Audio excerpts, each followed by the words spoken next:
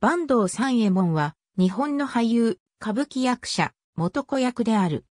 歌舞伎役者としての名は、坂東三吉、本名、榎本忠。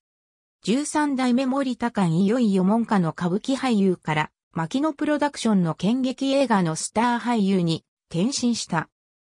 1895年2月19日、東京府東京市に生まれる。父は四代目、市川幸和歌。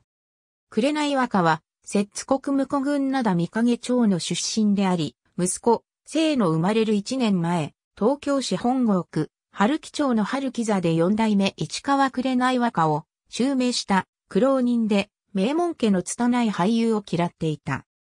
数え年7歳、満6歳となった1901年3月、父が襲名披露をしたのと同じ春木座で上演された七代目市川団蔵による桜木民伝に末帝役で出演し、初舞台を踏む。その後、当、紅和歌と共に、歌舞伎座、新富座、明治座等、あるいは各地の小劇場にも出演し、歌舞伎の子役として育つ。初舞台から15年を経て、1916年1月、13代目、森田館いよいよに入門、同年9月には、帝国劇場で初代バンド三吉の名題を得て昇進する。その後は、死の館いよいよと共に、市村座、帝劇、有楽座等に出演した。二代目、市川猿之助の春秋座にも参加した。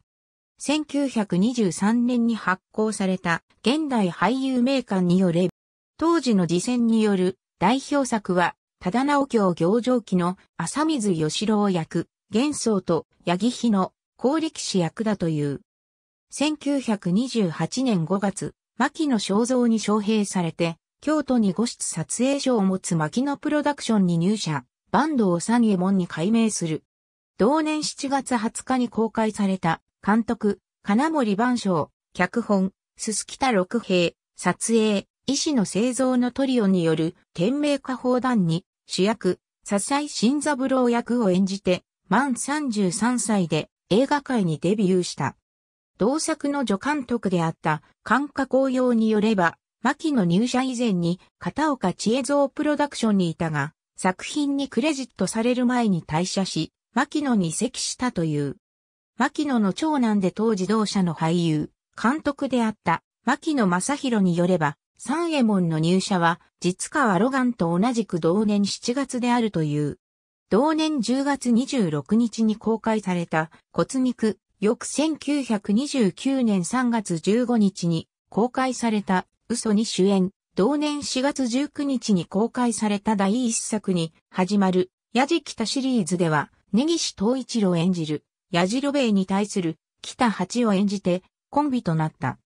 この頃、日活大将軍撮影所の大河内伝次郎、川延五郎、帝国キネマ演芸の実川延松、坂東豊昇、河合映画の杉教授、大岡街道といったコンビものが多く作られたという。同年7月25日、牧野正蔵が亡くなり、同年9月に牧野正宏を核とした新体制が発表になると、三右衛門は、嵐、冠三郎、荒木忍、南光明、根岸東一郎、谷崎十郎、市川米十郎らと共に俳優部男優に名を連ねた。